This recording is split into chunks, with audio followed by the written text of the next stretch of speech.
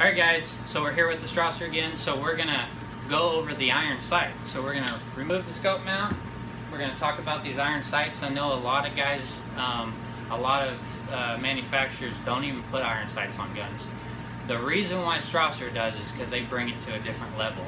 Um, these sights are fully adjustable for windage and elevation. You have a high-vis uh, front fiber optic on the front.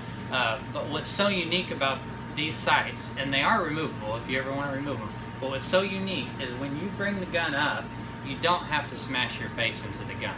You can actually close your eyes and open and you dead on the sights.